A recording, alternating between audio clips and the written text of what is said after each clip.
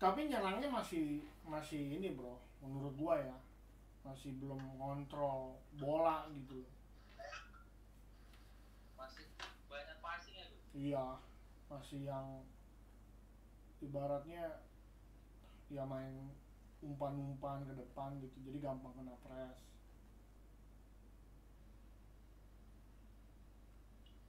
Sebenarnya nggak apa-apa sih kalau mau main begitu. Cuman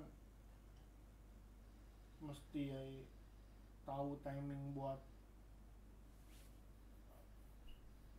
sedikit ngegocek gitu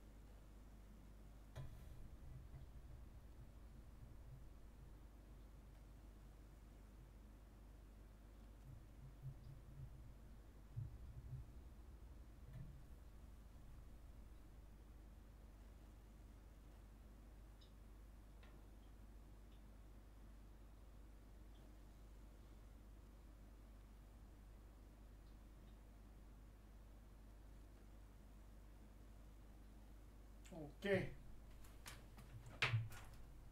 Nah. Kalau yang ini